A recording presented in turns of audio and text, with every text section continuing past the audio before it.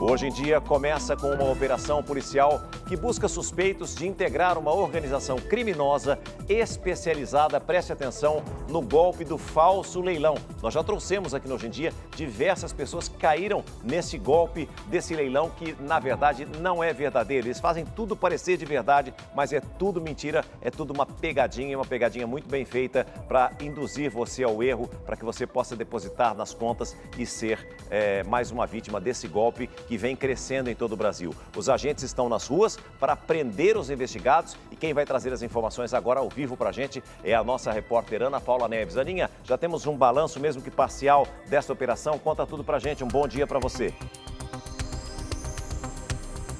Oi César, bom dia a você, bom dia a todos que nos acompanham ao vivo no Hoje em Dia. Até agora, nove pessoas foram presas, homens e mulheres, mas há 21 mandados de prisão, ou seja, ainda faltam 12 bandidos aí, 12 suspeitos de integrarem essas quadrilhas que estão sendo localizados pela polícia. Até agora, as prisões aconteceram de forma tranquila, apenas uma pessoa tentou fugir.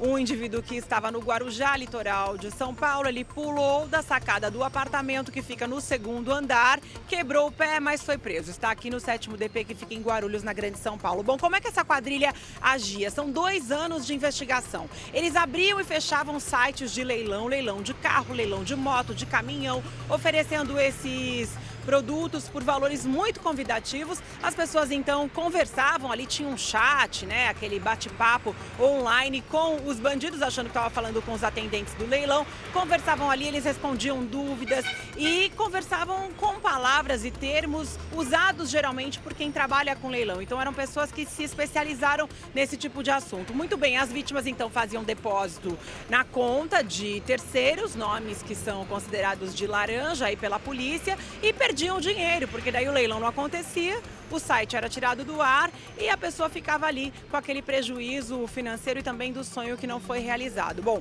a polícia então segue investigando esse bando há dois anos a partir da denúncia de uma pessoa, uma vítima que veio até a delegacia fazer um boletim de ocorrência, que tinha perdido em torno de 80 mil reais nesse falso leilão.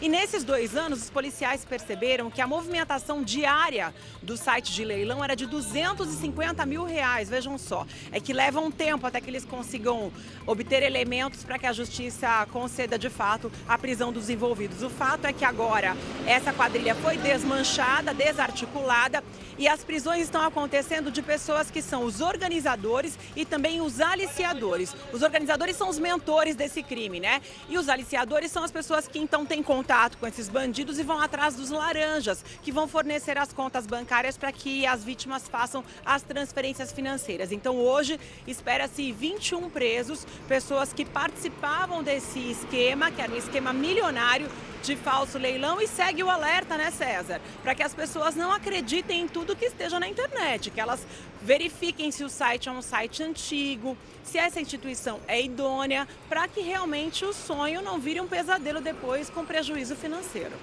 Voltamos ao estúdio do Hoje em Dia. Algumas dicas importantes, Aninha. O site tem que ser .com.br. Isso os próprios analistas de segurança já disseram. Site apenas .com é muito difícil, porque é mais difícil de rastrear porque fica nos Estados Unidos. Portanto, veja isso. E veja se existe um leiloeiro credenciado, leiloeiro oficial com o número desse leiloeiro, para você saber se ele existe realmente de verdade. E vai ser difícil recuperar o dinheiro perdido. Essa é a grande verdade. Obrigado pelas informações, Aninha. Um ótimo dia para você.